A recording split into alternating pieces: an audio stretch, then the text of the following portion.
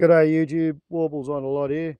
I'm sure you're aware that a couple of years ago the supermarket stopped giving away thin, cheap polyethylene shopping bags. And for the first two weeks they gave us reusable bags, polypropylene I do believe, in order to discover how reusable they really were I decided to keep a tally.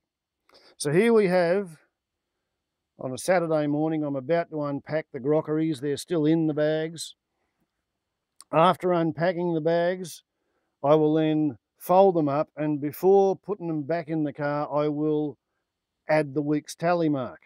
So what we have here is 10, 20, 30, 40, 50, 55, 58. So this is the 59th time that bag has been to the supermarket.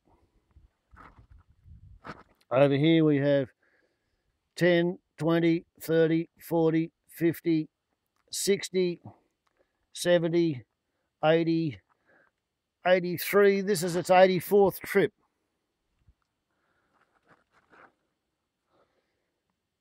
Ten, twenty, thirty, forty, fifty, sixty, 70, 80.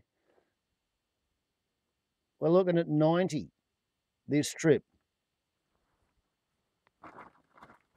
And this particular bag, this is the one I'm making the movie in honor of.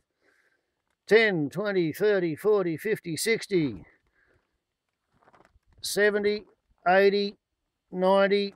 It's on its 99th trip last week.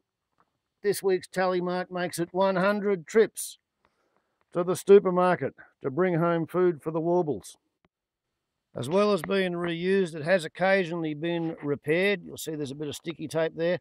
I find if you put the sticky tape on both sides of any particularly grievous split, but looking here at the flip side of that same bag, I'm pleased to report this has indeed been 100 times to the supermarket with only one